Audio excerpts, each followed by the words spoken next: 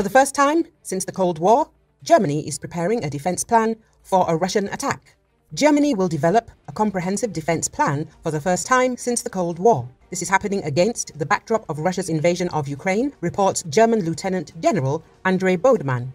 According to him, the main points of the plan will focus on deterring enemy forces in the event of an invasion of German territory.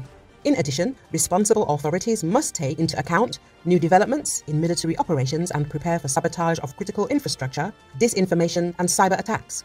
It is also anticipated that a significant portion of the Bundeswehr will be needed to protect the eastern flank of NATO. Germany's operational plan is primarily focused on deterrence. We are doing something to prevent conflict or war, says Lieutenant General Bodemann. He notes that the situation in Europe is different now than 30 years ago when Germany was a frontline state. Currently, his country is in the rear area, so I don't expect tank battles on the North German plain, and hopefully, I don't expect landings of Russian paratroopers either. But our critical infrastructure, ports, bridges, energy companies are threatened by sabotage possibly also special forces trying to disrupt these critical infrastructures, he emphasized. Bodemann believes that one of the main areas of defense should be cyberspace. This includes the spread of disinformation by the adversary and attempts to influence the residents of Germany and the government in this way. And the fourth part, against which we are arming ourselves now, is clearly the diversions of special forces, for example, irregular forces trying to sabotage something to hinder or prevent deployment.